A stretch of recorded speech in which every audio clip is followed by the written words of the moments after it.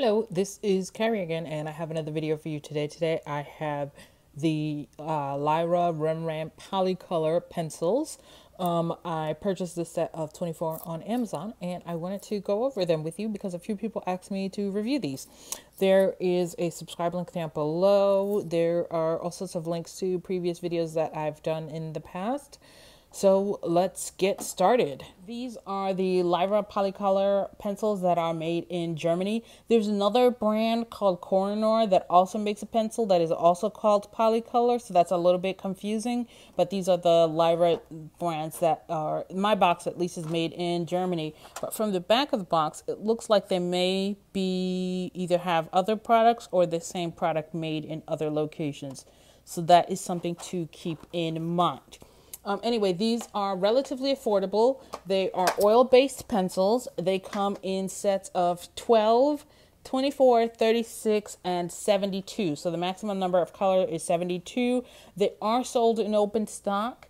Um, this the set of 12 is $17. The set of 24 is $33. The set of 36 is $54 at Dick Blick and the set of 72 was 109 at Dick Blick and those are discountable prices. So if you have a Dick Blick coupon they would work on those.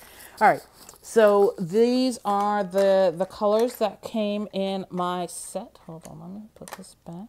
These are the colors that came in my set. Um, let me tell you some of the positives. One of the main positives that I found is that they work up pretty quickly. Let me show you. Let me get a pencil here and show you that it does deposit a lot of color very quickly. So this is a sort of medium pressure. Um, so you can see how much color it drops off really quickly. And this paper that I am using is 200 um, series Strathmore watercolor paper. Um, but this is, you know, this is similar to like a, a heavy, like an extra heavy cardstock kind of thing. Um, but you can see that it does very quickly lay down a lot of color. Um, and you can also, you know, it's strong enough that you can press down really hard if that's what you're into. I feel like these pencils might be best for people who like to, you know, just go in with a, a few layers and just, you know, put down a whole lot of color really quickly. Um, so these pencils are really, really good for that. All right, so that's one of the positives of these pencils. Um, another positive that I found is that they the names and the the name and the color number is printed on here and they are sold open stock too. So if you want to buy replacements you totally can. So um, all the pencils have the name and the color printed on them um, which I know a lot of people including me find really helpful. I, I find it easier to remember what colors I was using um, if I can look at the name uh, so there's that. Um, they claim to be light fast. They have some light fast ratings here. Um, hold on, it's going to be hard for me to show you. Hold on, let me show you. They have some light fast ratings here. I hope you can see these light fast ratings here. Um, I'm not sure what they mean or who does the testing. More importantly, this might just be like based on their own tests. All of these colors are rated as um, extremely Lightfast based on, I guess, their own tests. So there is that. So those are some of the pros on these pencils. Let me show you some of the work that I've done with them. This is an apple that I did. So this was, um, oh, and I wanted to show you how I found um, a lot of people said that they blend really easily. I did not find that to be the case, but I also didn't have the Lyra brand, branded pet, ah, the Lyra branded pencil blender. Um, I use the, I think this was done with a Derwent blender, and um, you can see that it doesn't really, like, I don't know, I, I don't really feel like it got it that blended. Um, I also found that it was hard because it was because they put down so much color. It was a little bit difficult to keep a strong enough point move this out the way to show you. But it, you can see that I had this sharpened before I started using and you can already see that the point is going down pretty fast. Um, that because it lays down so much color, I had a hard time keeping a, a good enough point long enough to get into the tooth of the paper. Um, and I found this to be true across multiple paper types. Let me show you. So this is, this isn't done. Um, this is almost done. I have to do the skin, um, which I didn't do with these pencils. And I will go over why I didn't do the skin of these pencils in, in a minute. But, um, but I wanted to show you that I found for me, I like to work in a lot of layers. You know, I like to do that when I'm doing watercolor. I like to do that when I'm doing colored pencils. I like to do that when I'm doing oil pastels. And I just like to work in layers. It makes it a lot easier for me to um, make mistakes and to just go over my mistakes. Uh, but I found that these were not that conducive for me to doing a lot of layers because I found that I couldn't, you can see very clearly where the the yellow was used in the in the previous layer and I found that it didn't give me that smooth in terms of how I want my layers to look once I've gone over them and let me show you this this was done um, pretty much the same way with the polychromos and you can see that it's a little bit harder to see the underneath layers. The underneath layers sort of blend in and they don't really stand out the way they do on here.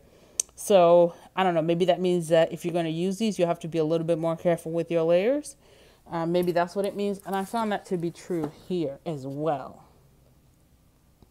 Although because this was, you know, blended in and um, basically burnished, but you can kind of see where some of the previous layers were um, I, I, don't know. That that's just me. Um, and you might not find that to be the case. I'm not sure how I feel about that yet. Um, I wasn't expecting it, so I'm not sure if I love that or if I have a problem with it. But that's just a thing that happened. Um, so there is that. That's one of the that's one of the issues of concerned. Um, like I said, people have said that the the best way to blend them is with the Lyra blender pencil, but that wasn't included. So um, so because of the heavy deposits of color, as I said, um, it was hard for me to get as many layers as I would have liked. Um, so for example, like I really wanted to do some more darker colors here, but I found that it doesn't really stick after a certain amount of layers. Like it doesn't really, you know, I don't know if that makes any sense. Like after a few layers. I feel like after three or four layers, it doesn't want to take anymore. Um, and that might be fixed if you use odorless mineral spirits or if you use their blender pencil. But I found that it, it didn't really want to take any more layers, and I really wanted to do more layers on this. Um, but I had to sort of give it up. I couldn't get the darks as dark as I wanted to um, because, like like I said, I like to lay down a very light shade of the dark and then just keep going over and over again to make it you know, progressively darker.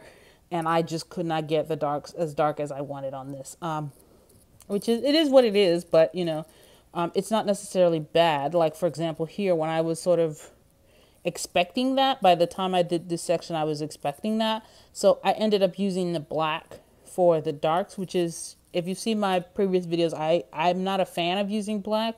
But since I was expecting it and since I was planning on using black, I found that it worked okay. So that's something to keep in mind. The other thing, and I'm going to show you this with the colors that are included, is I found the range.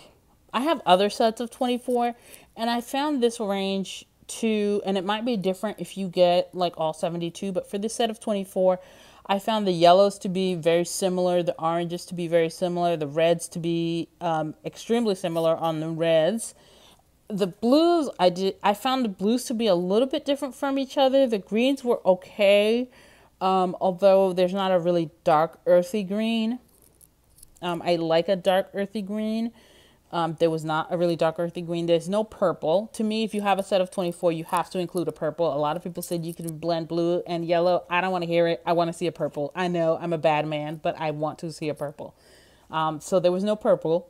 So that's always a that's always a minus. So just see, there's two oranges but no purple. I'm not saying that that's a problem, but I'm just saying that like I mean, I'm just saying like. Anyway, so the so I'm over my purple issues. I've moved on. I swear I'm over it. Um, the browns. So that's part of the reason why I struggled to, why I decided not to do the skin tone with these pencils. You can see the skin tone that I did with, um, this is sort of a light, sort of a light brown. Um, this is the skin tone that I did not finished with the polychromos and you can see that this is the kind of color that I'm going for.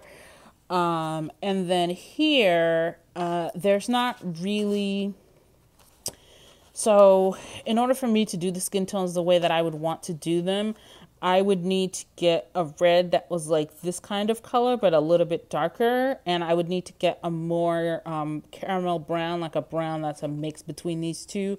And especially since you can't do a lot of layers, I just wasn't comfortable to be able to get the, the right skin tone that I wanted with these colors. Um, however, if you're going to do lighter skin tones, then it's a lot easier to do with your Pompeian red um, and, you know, like a light layer of your Pompeian red or something like that. But for the darker skin tones, I was not, I don't know, I wasn't able to, I, you know, I can try it here, but I just was not able to, to get it to be a way that was satisfactory for me. So I decided not to do it on the book itself. So there was so that was that for me. Um, you might not have this problem depending on what skin tones you want to do. So there is that. There also was not a, um, and this is not necessarily, um, this is just the, the, the matter of the size of the set that it is because this is only 24 colors. Um, there's not a really super dark blue, which I like to use for shadows.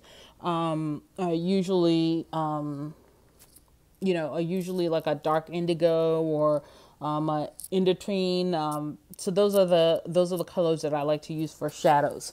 Uh, one last thing I want to show you before I bore you. I'm going to take a break because there's one last thing I want to show you. So last thing I want to show you is that these pencils are interesting in that the core is a four um, a four millimeter core.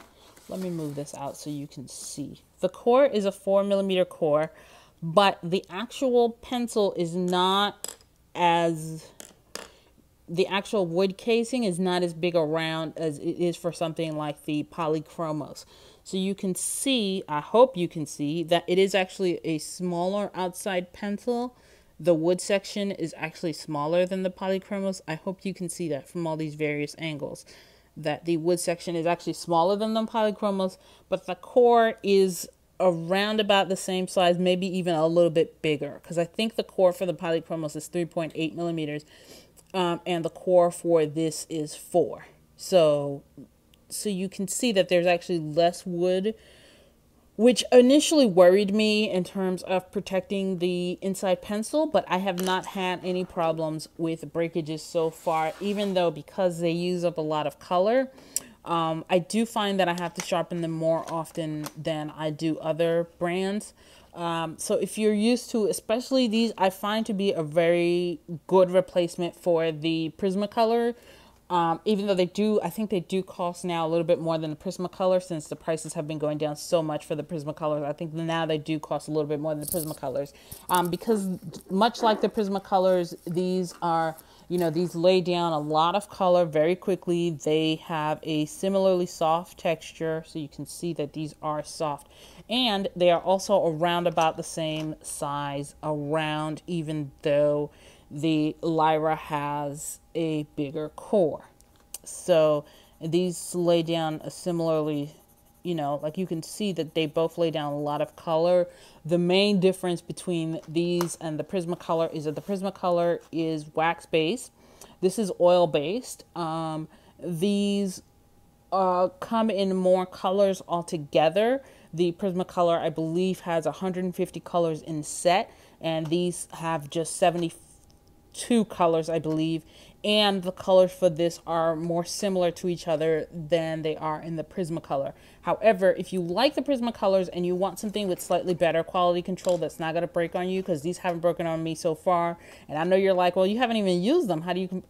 By the time I had gotten this far into my Prismacolors, I was already dealing with breakages. So already I'm much more impressed. Um, so there is that. So um, these might be a good replacement for your Prismacolors is what we learned today. Um, so I think we've covered just about everything.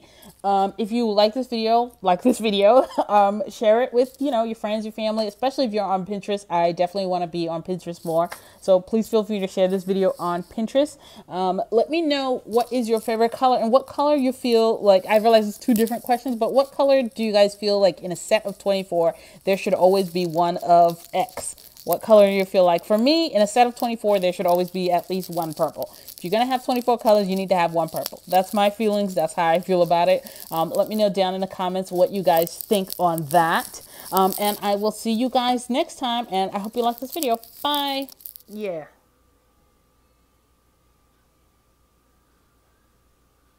Why are you watching me, Stewie? Stewie. Why are you watching me like that?